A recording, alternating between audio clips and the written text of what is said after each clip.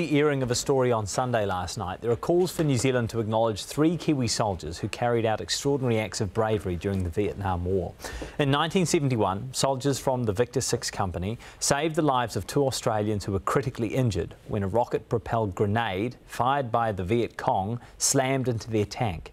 For 46 years, their platoon commander has been pushing governments on both sides of the Tasman to award medals to these men, but has been ignored. Sunday reporter Mark Crysell joins us this morning. Kia ora. Um, Morena. Great story last night. It was very, Thanks, it was it was powerful and, and, very moving. For those who haven't seen us, can you just, just give us a bit of background here? Yeah. So in, on June the 25th, 1971, um, Victor Six went into battle. There was they were going after a, a bunker system that had been set up by the North Vietnamese troops. Uh, and they followed in a battalion of Australian tanks. One of those tanks was hit by an RPG. The men in there were very badly injured. Um, one of them lost both his eyes, another one lost an eye, lost an arm.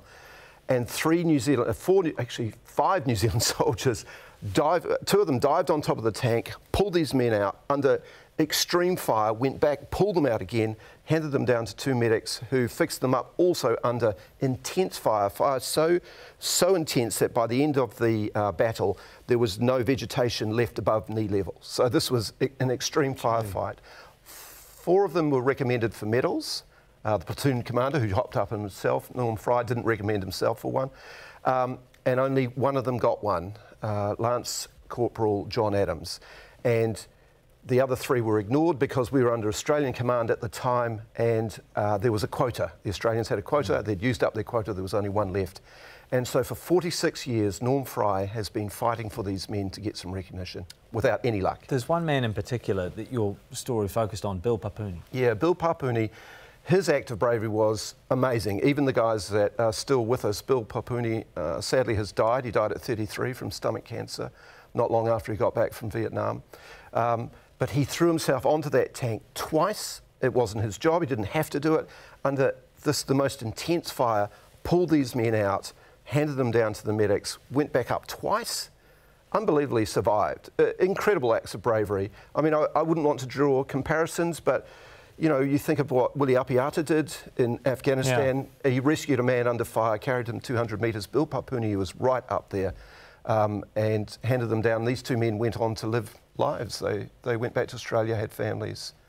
Um, so incredible acts of, of bravery what, and what gallantry. Would, what would it mean to, to these men and their families to have Bill Papuni and his, and his uh, other soldiers recognised? I think it would have been a lot. Bill, Bill Papuni is from a, a, a a, a, long line of Ngāti Porou warriors. They, yeah. uh, his father and his uncles fought for the Māori battalion. He grew up in Gisborne, his first language was Māori, but he went to the war, got on with his life, came back and died at 33, probably, uh, his family believe, from the impact of Agent Orange on yeah. him. He got st stomach cancer at a very young age. He has a, a daughter uh, who was only 10 when he passed away. She barely knew him. It would mean a lot to them. There's this five-year rule in, in New Zealand whereby you can only go back and retrospectively consider uh, gallantry medals for five years mm. um, previously. So, so what needs to change in order for these men to be recognised? So the Australian uh, Minister of Veteran Affairs has told Norman Fry that uh, if a New Zealand politician got involved, they could sort something out there over there. But we have a five-year exclusion period, yeah. so anything that happened outside those five years uh, is not considered at all, which to me is crazy. I mean, I think there's a real opportunity here for a politician to be a hero. New Zealand should, I think, give these men awards. Particularly, it would mean a lot to the families of, of family of Bill Papuni, but also Mike Williams and John Galley.